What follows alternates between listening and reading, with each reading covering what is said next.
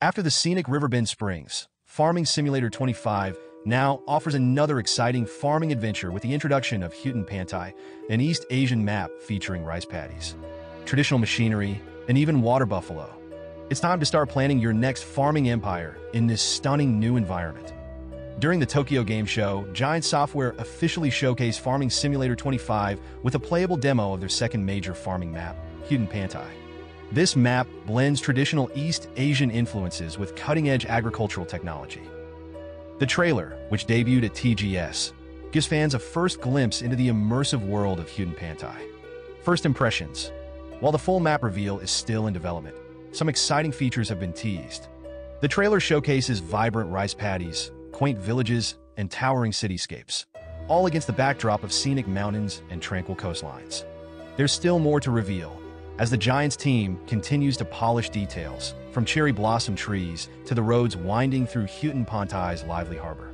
Stay tuned for the next blog post, where we'll dive deeper into the game mechanics and features specific to the East Asian environment. TGS highlights Farming Simulator 25 at Tokyo Game Show.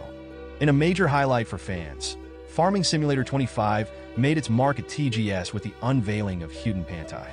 Attendees at the show experienced the new map firsthand, immersing themselves in a diverse and vibrant agricultural setting. Giants Software, in partnership with Sega, emphasized their excitement about expanding into Asian markets, which have shown growing interest in the Farming Simulator franchise. This collaboration also marks a milestone for the game series, as Farming Simulator continues to gain popularity worldwide. Welcoming farmers to Hutan Pantai. Set against the stunning backdrop of East Asia, Hutan Pantai introduces unique elements such as Two types of rice crops that require specialized planting and harvesting equipment. Water buffalo as a new livestock option, adding depth to animal husbandry gameplay. Traditional architecture in villages, city skylines, and rural temples, creating a rich cultural atmosphere.